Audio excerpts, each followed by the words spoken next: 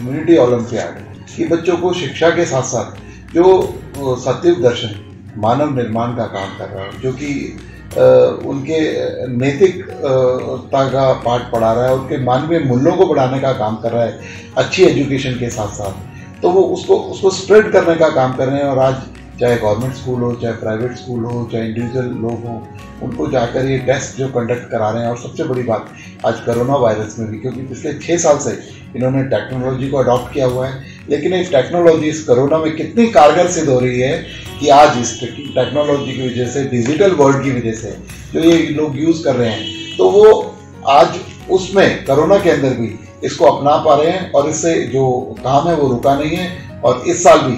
ये humanity Olympic olympiad ये लोग सक्सेसफुल तरीके से कर रहे हैं। तो जिस तरीके से व्यक्ति निर्माण और व्यक्ति के नैतिक मूल्यों को बढ़ाने का काम कर रहे हैं, उसके अंदर डेवलप करने की बात कर रहे हैं तो मैं इस पूरे संस्थान को अपनी बहुत बहुत शुभकामनाएँ दूँगा और यही कहना चाहूँगा कि ज़्यादा से ज़्यादा लोग इससे जुड़े।